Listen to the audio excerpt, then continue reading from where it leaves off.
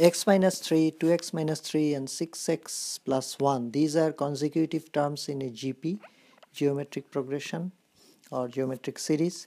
We need to find the value of x.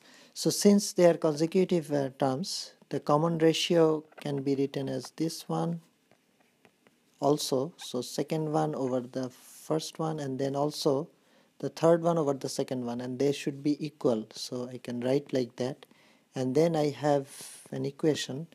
So I this one and then x minus 3 times 6x plus 1 so this is 4x square minus 12x plus 9 and this is 6x square minus 18x plus x minus 3 so if I rearrange I am taking everything on the right hand side. It's 2x square uh, this 4x square goes on the right hand side and then this my negative 12x x goes on the right hand side. It becomes negative 5 uh, plus 12x so negative 7x 17x plus 12x is uh, negative 5x and then this one goes on the right hand side becomes negative 12 so we have a quadratic equation. We will try to solve it.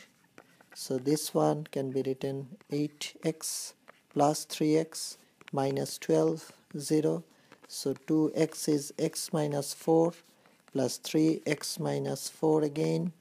So if we factorize it it becomes like this.